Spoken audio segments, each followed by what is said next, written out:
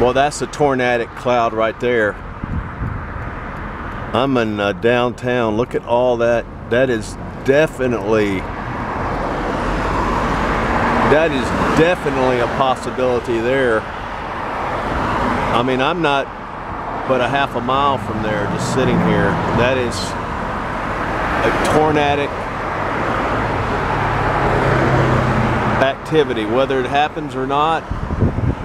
It happened a couple years ago in Atlanta, near the Georgia Dome, near my loft. But that is a definite possibility of tornado activity. My goodness, look at that. This is going northbound on Northside Drive. Wow, look at that. This is Northside Drive 10th Street. Lightning. I could feel some raindrops. Ominous clouds, tornadic clouds.